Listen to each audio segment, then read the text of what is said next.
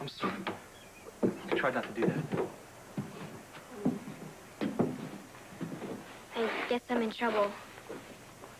Why would you be in trouble? Well, I'm supposed to be in school. Does that mean you're not going to tell? Well, you know, sometimes it's more important to figure out what's bothering somebody than having a perfect attendance record.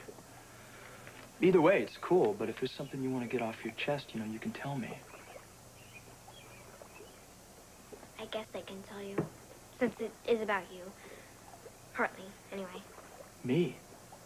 Did I do something wrong? Oh, not to me, but you did make a mistake. And everybody's acting like it's the worst thing in the history of the world. Like they're all perfect. It's a joke. Anyway, I see how they treat you. And how no one cares that you're really hurting.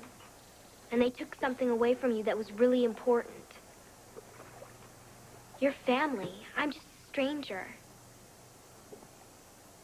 What'll happen to me if I screw up? Okay. First, let me tell you how touched I am that you even took the time to think about me. But I'm okay. At least I'm going to be. I mean, I'm not saying that it doesn't hurt. But, you know, life goes on, right? Sometimes these things happen for a reason. Do you ever hear that saying that one door closes so that another one can open? I think it's true. I mean, I realize that my family behaves in mysterious ways. But they are also capable of deep love and loyalty. I guess sometimes, you know, when you mix business and you mix family, uh, things get kind of messy. You know, people's feelings get overlooked for the higher cause. But they did the right thing, Emily. How can you say that? They kicked you off the foundation. Yes, they did. They did it because if I stuck around Emily, it might adversely affect the progress of the foundation. The, look, the bottom line is, if I stuck around, something else might have gotten screwed up, so I just can't be there. But you're still sad. Yeah, I probably will be for a long time.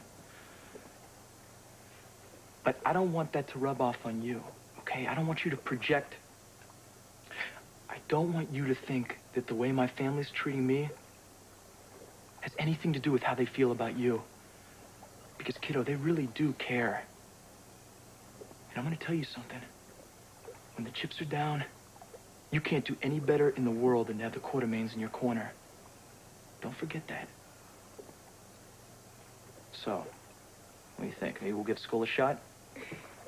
I, I could write you a note if you think that would help. That'd be great. Okay, give me your notebook. Never done this before, Emily. I'm not really, uh, too sure what to write. Thanks. How about the roof caved in? Uh, you know, actually, that's probably a little too close for comfort. Why don't we stick to the basics? Um, you got a queasy stomach. Perfect. Good, okay. There you go. Thanks. Okay.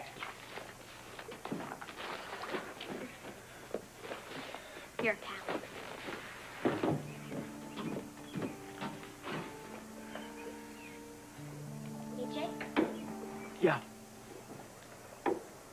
You'll be all right, really? Yeah. Yeah, I really will. You, get out of here. Go to school. Go learn something. Have a great day. That's an order. Aye, aye, Captain. All right. Beat it.